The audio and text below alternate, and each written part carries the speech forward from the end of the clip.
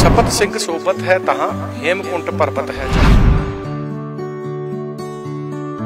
ਸੋ ਇਹ ਜੋ ਵਿਸ਼ਾਲ ਇਮਾਰਤ ਤੁਸੀਂ ਗੁਰਦੁਆਰਾ ਸਾਹਿਬ ਦੀ ਦੇਖ ਰਹੇ ਹੋ, ਦੋ ਦਹਾਕੇ ਤੋਂ ਵੱਧ ਸਮਾਂ ਹੋ ਗਿਆ ਜਦੋਂ ਇਸ ਦਰਬਾਰ ਸਾਹਿਬ ਦੀ ਸਥਾਪਨਾ ਕੀਤੀ ਗਈ ਸੀ ਤੇ ਉਸ ਤੋਂ ਕਈ ਸਾਲ ਪਹਿਲਾਂ ਇੱਥੇ ਜਿਹੜੀ ਇਹ ਜ਼ਮੀਨ ਲੈ ਲਈ ਗਈ ਸੀ। ਸੋ ਇੱਥੇ ਹੋਰ ਕੀ ਕਾਰਜ ਹੋ ਰਹੇ ਨੇ? ਆਓ ਅਸੀਂ ਤੁਹਾਨੂੰ ਗੁਰਦੁਆਰਾ ਸਾਹਿਬ ਦੇ ਵਿੱਚ ਲਿਜਾ ਕੇ ਦਿਖਾਉਂਦੇ ਹਾਂ।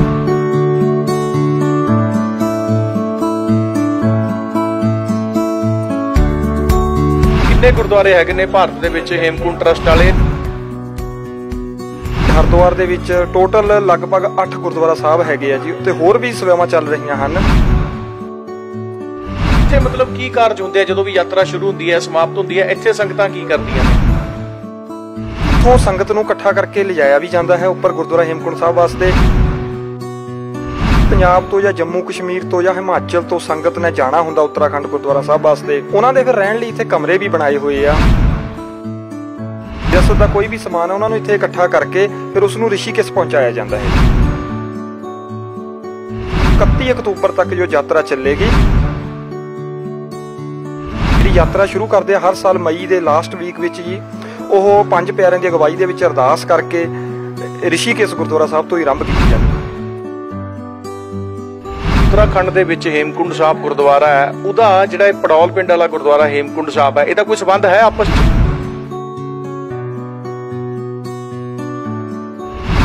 ਸਾਹਿਬ ਜਿਹੜਾ ਮੈਨੇਜਮੈਂਟ ਟਰਸਟ ਹੈ ਜੀ, ਉੱਤਰਾਖੰਡ ਦੇ ਵਿੱਚ, ਉਹਨਾਂ ਦਾ ਹੀ ਇਹ ਗੁਰਦੁਆਰਾ ਸਾਹਿਬ ਆ। ਇੱਥੇ ਜ਼ਮੀਨ ਵੀ ਹੈ ਜੀ ਤੇ ਬਹੁਤ ਸੋਹਣਾ ਗੁਰੂ ਘਰ ਬਣਾਇਆ ਹੋਇਆ ਹੈ ਜੀ। ਟਰਸਟ ਵਾਲਿਆਂ ਨੇ ਇੱਥੇ ਹੋਰ ਵੀ ਕਈ ਸੇਵਾਵਾਂ ਚਲਾਈਆਂ ਹੋਈਆਂ ਏ ਜਿਵੇਂ ਕਿ ਛੋਟੀਆਂ ਬੱਚੀਆਂ ਪੰਜਵੀਂ ਜਮਾਤ ਤੱਕ ਦੇ ਸੀਬੀਐਸਈ ਬੋਰਡ ਦੇ ਅੰਡਰ ਜੀ ਸਕੂਲ ਉਹਨਾਂ ਨੂੰ ਫ੍ਰੀ ਐਜੂਕੇਸ਼ਨ ਦਿੱਤੀ ਜਾਂਦੀ ਆ। ਕਿੰਨੇ ਕੁ ਗੁਰਦੁਆਰੇ ਜਿਹੜਾ ਆਪਾਂ ਕਹੀਏ ਭਾਰਤ ਵਿੱਚ ਇਸ ਟਰਸਟ ਨਾਲ ਜੁੜੇ ਹੋਏ ਹੈਗੇ? ਲਗਭਗ 22 ਸਾਲ ਪਹਿਲਾਂ ਜੀ ਤੇ ਬਹੁਤ ਹੀ ਵਿਸ਼ਾਲ ਇਮਾਰਤ ਤੇ ਗੁਰੂ ਘਰ ਬਣਾਇਆ ਸੀਗਾ ਉਸ ਟਾਈਮ ਉਦਘਾਟਨ ਕੀਤਾ ਸੀਗਾ। ਤੇ ਜ਼ਮੀਨ ਤਾਂ ਉਸ ਤੋਂ ਵੀ ਪਹਿਲਾਂ ਤੋਂ ਹੈ ਇੱਥੇ ਜੀ। ਸਤਿ ਸ਼੍ਰੀ ਅਕਾਲ ਸਕਰੋਲ ਪੰਜਾਬ ਦੇਖੇ ਦਰਸ਼ਕਾਂ ਦਾ ਬਲਜੀਤ ਮਰਵਾਹਾ ਵੱਲੋਂ ਸਵਾਗਤ ਹੈ। ਦਰਸ਼ਕੋ, ਜੇ ਤੁਸੀਂ ਮੇਰੇ ਚਾਰੇ ਪਾਸੇ ਆਲੇ ਦੁਆਲੇ ਦੇਖੋਗੇ ਤਾਂ ਤੁਹਾਨੂੰ ਖੇਤ ਹੀ ਖੇਤ ਜਿਹੜਾ ਹੈਗੇ ਨੇ ਇੱਥੇ ਨਜ਼ਰ ਆ ਰਹੇ ਹੋਣਗੇ ਵੀ ਖੇਤਾਂ ਦੇ ਵਿੱਚ ਅੱਜ ਅਸੀਂ ਪਹੁੰਚੇ ਹੋਏ ਆ ਸਕਰੋਲ ਪੰਜਾਬ ਦੀ ਟੀਮ ਪਹੁੰਚੀ ਹੋਈ ਹੈ।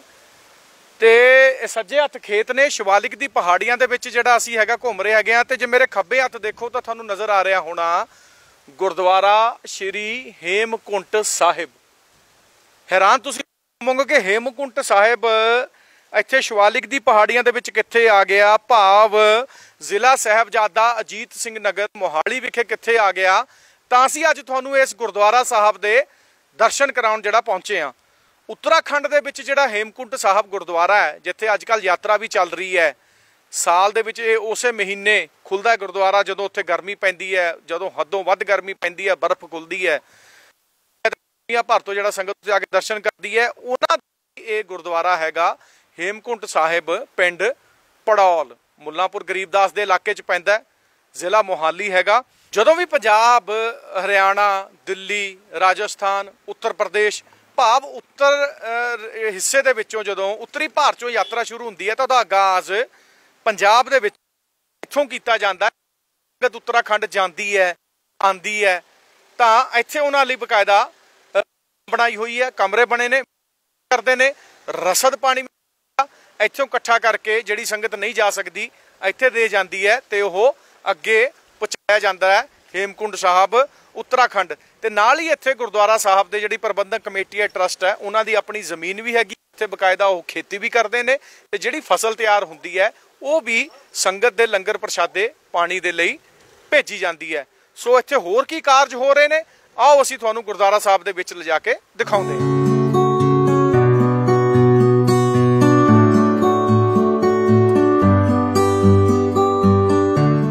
ਭਾਈ ਸੁਖਜਿੰਦਰ ਸਿੰਘ ਜੀ, ਅਸੀਂ ਇਹ ਜਾਣਨਾ ਚਾਹਾਂਗੇ ਕਿ ਜਿਹੜਾ ਉੱਤਰਾਖੰਡ ਦੇ ਵਿੱਚ ਹੇਮਕੁੰਡ ਸਾਹਿਬ ਗੁਰਦੁਆਰਾ ਹੈ, ਉਹਦਾ ਜਿਹੜਾ ਇਹ ਪੜੌਲ ਪਿੰਡ ਵਾਲਾ ਗੁਰਦੁਆਰਾ ਹੇਮਕੁੰਡ ਸਾਹਿਬ ਹੈ, ਇਹਦਾ ਕੋਈ ਸਬੰਧ ਹੈ ਆਪਸ 'ਚ? ਹਾਂਜੀ, ਵਾਹਿਗੁਰੂ ਜੀ ਕਾ ਖਾਲਸਾ, ਵਾਹਿਗੁਰੂ ਜੀ ਕੀ ਫਤਿਹ ਜੀ। ਸਕਰੋਲ ਪੰਜਾਬ ਵਾਲਿਆਂ ਦਾ ਇੱਥੇ ਪਹੁੰਚਣ ਤੇ ਮੈਂ ਜੀ ਆਇਆਂ ਵੀ ਆਖਦਾ ਗੁਰਦੁਆਰਾ ਸਾਹਿਬ ਦੇ ਵਿੱਚ ਜੀ, ਧੰਨਵਾਦ ਵੀ ਕਰਦਾ ਜੀ ਤੁਹਾਡਾ। ਹਾਂਜੀ ਸਰ, ਇਹ ਨਾ ਹੇਮਕੁੰਟ ਸਾਹਿਬ ਜਿਹੜਾ ਮੈਨੇਜਮੈਂਟ ਟਰਸਟ ਹੈ ਜੀ, ਉੱਤਰਾਖੰਡ ਦੇ ਵਿੱਚ, ਉਹਨਾਂ ਦਾ ਹੀ ਇਹ ਗੁਰਦੁਆਰਾ ਸਾਹਿਬ ਆ। ਇੱਥੇ ਜ਼ਮੀਨ ਵੀ ਹੈ ਜੀ, ਤੇ ਬਹੁਤ ਸੋਹਣਾ ਗੁਰੂ ਘਰ ਬਣਾਇਆ ਹੋਇਆ ਹੈ ਜੀ। ਤੇ ਇੱਥੇ ਸਾਰੀ ਦੇਖ ਰੇਖ ਹੈ ਜਿਹੜੀ ਉਹ ਟਰਸਟ ਦੇ ਅੰਡਰ ਹੀ ਹੁੰਦਾ ਹੈ, ਸਾਰਾ ਪ੍ਰੋਗਰਾਮ ਇੱਥੋਂ ਦਾ ਜੀ। ਤੇ ਟਰਸਟ ਵਾਲਿਆਂ ਨੇ ਇੱਥੇ ਹੋਰ ਵੀ ਕਈ ਸੇਵਾਵਾਂ ਚਲਾਈਆਂ ਹੋਈਆਂ ਏ, ਜਿਵੇਂ ਕਿ ਛੋਟੀਆਂ ਬੱਚੀਆਂ ਪੰਜਵੀਂ ਜਮਾਤ ਤੱਕ ਦੇ ਸੀਬੀਐਸਈ ਬੋਰਡ ਦੇ ਅੰਡਰ ਜੀ। ਸਕੂਲ ਉਹਨਾਂ ਨੂੰ ਫ੍ਰੀ ਐਜੂਕੇਸ਼ਨ ਦਿੱਤੀ ਜਾਂਦੀ ਆ। ਫ੍ਰੀ ਐਜੂਕੇਸ਼ਨ ਦੇ ਨਾਲ ਉਹਨਾਂ ਨੂੰ ਬੈਗ ਯੂਨੀਫਾਰਮ ਉਹਨਾਂ ਦਾ ਟਰਾਂਸਪੋਰਟ ਦਾ ਖਰਚਾ ਆਉਣ ਜਾਣ ਲਈ ਬੱਸਾਂ, ਉਹ ਸਾਰਾ ਫ੍ਰੀ ਆ। ਤੇ ਉਸ ਦੇ ਨਾਲ ਹੀ ਜੋ ਵੱਡੀਆਂ ਲੜਕੀਆਂ ਹੁੰਦੀਆਂ, ਜਿਵੇਂ ਆਫਟਰ 10th ਕਰਨ ਤੋਂ ਬਾਅਦ ਜਾਂ ਪਲੱਸ 2 ਕਰਨ ਤੋਂ ਬਾਅਦ, ਉਹਨਾਂ ਲਈ ਕੰਪਿਊਟਰ ਕੋਰਸ ਆ, ਉਹ ਵੀ ਇੱਥੇ ਫ੍ਰੀ ਚਲਾਇਆ ਜਾਂਦਾ ਟਰਸਟ ਵੱਲੋਂ ਜੀ। ਤੇ ਉਸ ਦੇ ਨਾਲ ਹੀ ਇੱਕ ਸਿਲਾਈ ਸੈਂਟਰ ਪਿੰਡਾਂ ਦੀਆਂ ਕੁੜੀਆਂ ਲਈ ਚਲਾਇਆ ਜਾਂਦਾ ਹੈ। ਉਹ ਵੀ ਉਹਨਾਂ ਨੂੰ ਫ੍ਰੀ ਸਿਲਾਈ ਕਢਾਈ ਦਾ ਸਿਖਾਇਆ ਜਾਂਦਾ ਹੈ। ਉਸ ਦੇ ਵਾਸਤੇ ਵਧੀਆ ਆਈਟੀਆਈ ਟੀਚਰ ਇੱਥੇ ਰੱਖੇ ਹੋਏ ਆ ਜੀ। ਤੇ ਕੰਪਿਊਟਰ ਕੋਰਸ ਵਾਸਤੇ ਵੀ ਵਧੀਆ ਲੜਕੀ ਰੱਖੀ ਹੋਈ ਆ, ਵਧੀਆ ਵੈਲ ਐਜੂਕੇਟਡ ਹੈ ਜੀ ਉਹ। ਤੇ ਉਹਨਾਂ ਕੁੜੀਆਂ ਨੂੰ ਵੀ ਲਿਜਾਣ ਦਾ, ਆਉਣ ਦਾ, ਉਹਨਾਂ ਦਾ ਜਿਹੜਾ ਸਾਰਾ ਖਰਚਾ ਹੈ ਟਰਸਟ ਵੱਲੋਂ ਹੀ ਕੀਤਾ ਜਾਂਦਾ। ਤੇ ਟੋਟਲੀ ਸਾਰੀ ਐਜੂਕੇਸ਼ਨ ਫ੍ਰੀ ਦਿੱਤੀ ਜਾਂਦੀ ਹੈ ਜੀ। ਤੇ ਹੋਰ ਵੀ ਸੇਵਾਵਾਂ ਚੱਲਦੀਆਂ ਇਹ ਟਰਸਟ ਵੱਲੋਂ। ਉਹ ਸਾਰਾ ਮੈਨੇਜਮੈਂਟ ਟਰਸਟ ਜੋ ਉੱਤਰਾਖੰਡ ਦੇ ਵਿੱਚ ਇਹ ਜਿਹੜੀ ਜ਼ਮੀਨ ਹੈ, ਇੱਥੇ ਕਿੰਨੀ ਕੁ ਜ਼ਮੀਨ 'ਚ ਹੈ ਤੇ ਕਿੰਨੇ ਕੁ ਸਾਲ ਪਹਿਲਾਂ ਇਹ ਦਰਬਾਰ ਹਾਲ ਬਣ ਗਿਆ ਸੀ ਤੇ ਕਿੰਨੇ ਕੁ ਗੁਰਦੁਆਰੇ ਜਿਹੜਾ ਆਪਾਂ ਕਹੀਏ ਭਾਰਤ ਵਿੱਚ ਇਸ ਟਰਸਟ ਨਾਲ ਜੁੜੇ ਹੋਏ ਹੈਗੇ ਨੇ? ਜੀ, ਇਹ ਗੁਰੂ ਘਰ ਦਾ ਉਦਘਾਟਨ ਜਿਹੜਾ ਕੀਤਾ ਸੀਗਾ ਉਹ 2000 ਸਾਲ ਦੇ ਵਿੱਚ ਕੀਤਾ ਸੀਗਾ ਜੀ। 22 ਸਾਲ ਪਹਿਲਾਂ। 22 ਸਾਲ ਲਗਭਗ 22 ਸਾਲ ਪਹਿਲਾਂ ਜੀ। ਤੇ ਬਹੁਤ ਹੀ ਵਿਸ਼ਾਲ ਇਮਾਰਤ ਤੇ ਗੁਰੂ ਘਰ ਬਣਾਇਆ ਸੀਗਾ ਉਸ ਟਾਈਮ ਉਦਘਾਟਨ ਕੀਤਾ ਸੀਗਾ। ਤੇ ਜ਼ਮੀਨ ਤਾਂ ਉਸ ਤੋਂ ਵੀ ਪਹਿਲਾਂ ਤੋਂ ਹੈ ਇੱਥੇ ਜੀ। ਆਪਣਾ ਸੋ ਭਾਈ ਸੁਖਜਿੰਦਰ ਸਿੰਘ ਜੀ ਇਹ ਕਿੰਨੇ ਗੁਰਦੁਆਰੇ ਹੈਗੇ ਨੇ ਭਾਰਤ ਦੇ ਵਿੱਚ ਹੇਮਕੁੰਟ ਟਰਸਟ ਵਾਲੇ? ਤੇ ਆਪਣਾ ਕਿਹਨਾਂ ਨੇ ਇੱਥੇ ਸੇਵਾ ਜਿਹੜੀ ਹੈ ਕੀਤੀ ਸੀ ਸਭ ਤੋਂ ਪਹਿਲਾਂ? ਹਾਂਜੀ। ਇੱਥੇ ਜੀ ਸਰਦਾਰ ਸੇਵਾ ਸਿੰਘ ਜੀ ਨੇ ਬਹੁਤ ਸਾਰੀ ਸੇਵਾ ਕਰੀ ਪਹਿਲਾਂ। ਕਾਫੀ ਸਾਲ ਉਹ ਇੱਥੇ ਰਹਿ ਕੇ ਗਏ ਆ। ਉਸ ਤੋਂ ਬਾਅਦ ਫਿਰ ਉਹ ਉੱਪਰ ਗੋਬਿੰਦ ਘਾਟ ਗੁਰਦੁਆਰਾ ਸਾਹਿਬ ਵਿੱਚ ਚਲੇ ਗਏ ਸੀਗੇ ਮੈਨੇਜਰ ਦੇ ਤੌਰ ਤੇ ਉੱਥੇ ਜੀ। ਤੇ ਉੱਤਰਾਖੰਡ ਦੇ ਵਿੱਚ ਤੇ ਹਰਿਦੁਆਰ ਦੇ ਵਿੱਚ ਟੋਟਲ ਲਗਭਗ 8 ਗੁਰਦੁਆਰਾ ਸਾਹਿਬ ਹੈਗੇ ਆ ਜੀ। ਤੇ ਹੋਰ ਵੀ ਸੇਵਾਵਾਂ ਚੱਲ ਰਹੀਆਂ ਹਨ, ਜਿਵੇਂ ਸਭ ਤੋਂ ਉੱਪਰ ਗੋਬਿੰਦ ਘਾ- ਗੁਰਦੁਆਰਾ ਹੇਮਕੁੰਡ ਸਾਹਿਬ ਜੀ, ਉਸ ਤੋਂ ਨੀਚੇ ਗੋਬਿੰਦ ਧਾਮ, ਉਸ ਤੋਂ ਨੀਚੇ ਗੋਬਿੰਦ ਘਾਟ ਜੀ, ਫਿਰ ਸ਼੍ਰੀਨਗਰ ਪੈਂਦਾ ਇੱਕ ਉੱਤਰਾਖੰਡ 'ਚ ਜਗ੍ਹਾ, ਉਸ ਤੋਂ ਬਾਅਦ ਜੋਸ਼ੀ ਮੱਠ ਹੈ ਜੀ, ਫਿਰ ਰਿਸ਼ੀਕੇਸ਼ ਜਿਹੜਾ ਕਿ ਮੇਨ ਉੱਥੇ ਸਾਰਾ ਜੋ ਵੀ ਆਫਿਸ ਵਰਕ ਆ ਸਾਰਾ ਹਿਸਾਬ ਕਿਤਾਬ ਡਾਟਾ ਉਹ ਰਿਸ਼ੀਕੇਸ਼ ਤੋਂ ਹੀ ਕੀਤਾ ਜਾਂਦਾ ਹੈ। ਯਾਤਰਾ ਉੱਥੋਂ ਸ਼ੁਰੂ ਹੁੰਦੀ ਹੈ ਪੰਜ ਪਿਆਰਿਆਂ ਦੀ ਅਗਵਾਈ 'ਚ? ਹਾਂਜੀ ਜਿਹੜੀ ਯਾਤਰਾ ਸ਼ੁਰੂ ਕਰਦੇ ਆ ਹਰ ਸਾਲ ਮਈ ਦੇ ਲਾਸਟ ਵੀਕ ਵਿੱਚ ਜੀ ਉਹ ਪੰਜ ਪਿਆਰਿਆਂ ਦੀ ਅਗਵਾਈ ਦੇ ਵਿੱਚ ਅਰਦਾਸ ਕਰਕੇ ਰਿਸ਼ੀਕੇਸ਼ ਗੁਰਦੁਆਰਾ ਸਾਹਿਬ ਤੋਂ ਹੀ ਆਰੰਭ ਕੀਤੀ ਜਾਂਦੀ ਹੈ। ਅੱਠਵਾਂ ਗੁਰਦੁਆਰਾ ਸਾਹਿਬ ਇਹ ਹੈ ਮੋਹਾਲੀ ਜ਼ਿਲ੍ਹੇ 'ਚ? ਹਾਂਜੀ ਅੱਠਵਾਂ ਗੁਰਦੁਆਰਾ ਹੈ ਮੋਹਾਲੀ ਜ਼ਿਲ੍ਹੇ ਦੇ ਵਿੱਚ ਜੋ ਕਿ ਪਿੰਡ ਪੜੌਲ ਹੈ ਨਿਊ ਚੰਡੀਗੜ੍ਹ ਦੇ ਵਿੱਚ ਪੈਂਦਾ ਹੈ ਜੀ। ਤੇ ਇੱਥੇ ਉਹਨਾਂ ਦੀ ਸਾਰੀ ਸੇਵਾ ਚੱਲਦੀ ਹੈ ਉਸ ਟਰਸਟ ਦੀ। ਇੱਥੇ ਮਤਲਬ ਕੀ ਕਾਰਜ ਹੁੰਦੇ ਆ ਜਦੋਂ ਵੀ ਯਾਤਰਾ ਸ਼ੁਰੂ ਹੁੰਦੀ ਹੈ ਸਮਾਪਤ ਹੁੰਦੀ ਹੈ ਇੱਥੇ ਸੰਗਤਾਂ ਕੀ ਕਰਦੀਆਂ ਨੇ? ਹਾਂਜੀ ਇੱਥੇ ਨਾ ਜੀ ਇਹ ਪੰਜਾਬ ਦੇ ਵਿੱਚ ਇੱਥੇ ਇੱਕ ਹੀ ਗੁਰਦੁਆਰਾ ਹੈ ਜੋ ਟਰਸਟ ਵੱਲੋਂ ਬਣਾਇਆ ਗਿਆ ਹੈ। ਇੱਥੇ ਇੱਥੋਂ ਸੰਗਤ ਨੂੰ ਇਕੱਠਾ ਕਰਕੇ ਲਿਜਾਇਆ ਵੀ ਜਾਂਦਾ ਹੈ ਉੱਪਰ ਗੁਰਦੁਆਰਾ ਹੇਮਕੁੰਟ ਸਾਹਿਬ ਵਾਸਤੇ ਤੇ ਜਿਹੜੀ ਪੰਜਾਬ ਤੋਂ ਜਾਂ ਜੰਮੂ ਕਸ਼ਮੀਰ ਤੋਂ ਜਾਂ ਹਿਮਾਚਲ ਤੋਂ ਸੰਗਤ ਨੇ ਜਾਣਾ ਹੁੰਦਾ ਉੱਤਰਾਖੰਡ ਗੁਰਦੁਆਰਾ ਸਾਹਿਬ ਵਾਸਤੇ ਜਾਂ ਹੋਰ ਵੀ ਕਿਸੇ ਗੁਰਦੁਆਰਾ ਸਾਹਿਬ ਵਾਸਤੇ ਉਹਨਾਂ ਦੇ ਫਿਰ ਰਹਿਣ ਲਈ ਇੱਥੇ ਕਮਰੇ ਵੀ ਬਣਾਏ ਹੋਏ ਆ ਤੇ ਉਹ ਸੰਗਤਾਂ ਕੋਈ ਰਾਸ਼ਨ ਪਾਣੀ ਵੀ ਇੱਥੇ ਦੇ ਕੇ ਜਾਂਦੀਆਂ ਹਨ ਤਾਂ ਉਸ ਰਾਸ਼ਨ ਨੂੰ ਇਕੱਠਾ ਕਰਕੇ ਕੋਈ ਵੀ ਰਸਦ ਸਮਾਨ ਹੋ ਗਿਆ? ਹਾਂਜੀ ਰਸਦ ਦਾ ਕੋਈ ਵੀ ਸਮਾਨ ਹੈ ਉਹਨਾਂ ਨੂੰ ਇੱਥੇ ਇਕੱਠਾ ਕਰਕੇ ਫਿਰ ਉਸ ਨੂੰ ਰਿਸ਼ੀਕੇਸ਼ ਪਹੁੰਚਾਇਆ ਜਾਂਦਾ ਹੈ ਜੀ। ਜੀ ਤੇ ਹੁਣ ਯਾਤਰਾ ਸ਼ੁਰੂ ਹੋਈ ਪਈ ਹੈ ਸਮਾਪਨ ਹੁਣ ਕਦੋਂ ਹੋਏਗਾ? ਹਾਂਜੀ ਜੋ ਇਸ ਵਾਰੀ ਯਾਤਰਾ ਸ਼ੁਰੂ ਹੋਈ ਹੈ ਉਹ 22 ਮਈ ਨੂੰ ਸ਼ੁਰੂ ਹੋਈ ਸੀਗੀ ਤੇ ਹੁਣ ਉਹ ਯਾਤਰਾ ਨਿਰੰਤਰ ਚੱਲ ਰਹੀ ਹੈ ਜੀ। ਇੱਕ ਜਾਂ ਦੋ ਦਿਨ ਵਿੱਚ ਬ੍ਰੇਕ ਆਈ ਸੀਗੀ ਬਰਫ਼ ਜ਼ਿਆਦਾ ਹੋਣ ਕਰਕੇ ਉੱਪਰ ਜੀ। ਉਸ ਤੋਂ ਬਾਅਦ ਨਿਰੰਤਰ ਯਾਤਰਾ ਚੱਲ ਰਹੀ ਹੈ ਰਸਤੇ ਸਾਰੇ ਠੀਕ ਹਨ ਤੇ ਸੰਗਤਾਂ ਵੀ ਕੋਵਿਡ ਕਰਕੇ ਇਸ ਵਾਰ ਬਹੁਤ ਜ਼ਿਆਦਾ ਜਾ ਰਹੀਆਂ ਹਨ, ਜੋ ਕਿ ਪਿਛਲੇ 2 ਸਾਲਾਂ ਤੋਂ ਲਗਭਗ ਰੁਕੀਆਂ ਹੋਈਆਂ ਸੀਗੀਆਂ।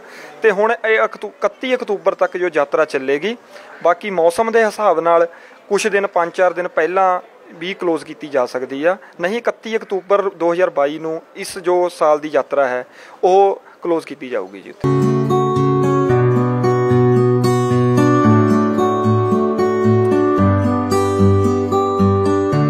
ਸਪਤ ਸਿੰਘ ਸੋਬਤ ਹੈ ਤਹਾਂ, ਹੇਮਕੁੰਟ ਪਰਬਤ ਹੈ ਜਹਾਂ। ਸੋ ਇਹ ਜੋ ਵਿਸ਼ਾਲ ਇਮਾਰਤ ਤੁਸੀਂ ਗੁਰਦੁਆਰਾ ਸਾਹਿਬ ਦੀ ਦੇਖ ਰਹੇ ਹੋ, ਮੈਂ ਆਪਣੇ ਕੈਮਰਾਮੈਨ ਨੂੰ ਕਹੂੰਗਾ, ਤੁਹਾਨੂੰ ਇਹ ਇਮਾਰਤ ਦਿਖਾਉਣਗੇ। ਦੋ ਦਹਾਕੇ ਤੋਂ ਵੀ ਵੱਧ ਸਮਾਂ ਹੋ ਗਿਆ ਜਦੋਂ ਇਸ ਦਰਬਾਰ ਸਾਹਿਬ ਦੀ ਸਥਾਪਨਾ ਕੀਤੀ ਗਈ ਸੀ ਤੇ ਉਸ ਤੋਂ ਕਈ ਸਾਲ ਪਹਿਲਾਂ ਇੱਥੇ ਜਿਹੜੀ ਇਹ ਜ਼ਮੀਨ ਲੈ ਲਈ ਗਈ ਸੀ। ਸ਼ਿਵਾਲਿਕ ਦੀ ਪਹਾੜੀਆਂ ਦੇ ਵਿੱਚ ਪਹਾੜੀ ਨੂਮਾ ਜ਼ਮੀਨ ਲੈ ਕੇ ਉਹਨੂੰ ਪੱਧਰੀ ਕੀਤਾ ਗਿਆ, ਸਮਤਲ ਕੀਤਾ ਗਿਆ ਤੇ ਉਸ ਤੋਂ ਬਾਅਦ ਜਾ ਕੇ ਹੇਮਕੁੰਟ ਸਾਹਿਬ ਟਰਸਟ ਵੱਲੋਂ ਇਸ ਗੁਰਦੁਆਰਾ ਸਾਹਿਬ ਦੀ ਸਥਾਪਨਾ ਕੀਤੀ ਗਈ। ਇਹ ਗੁਰਦੁਆਰਾ ਸਾਹਿਬ ਸ਼ਿਵਾਲਿਕ ਦੀ ਪਹਾੜੀਆਂ ਦੇ ਵਿੱਚ ਵਸੇ ਪਿੰਡਾਂ ਦੇ ਲੋਕਾਂ ਲਈ ਵੀ ਆਸਥਾ ਦਾ ਬਹੁਤ ਵੱਡਾ ਪ੍ਰਤੀਕ ਹੈ। ਵਿਜੇ ਭੁਪਿੰਦਰਜੀਤ ਦੇ ਨਾਲ ਬਲਜੀਤ ਮਰਵਾਹਾ ਸਕਰੋਲ ਪੰਜਾਬ ਪੜੌਲ ਚੰਡੀਗੜ੍ਹ।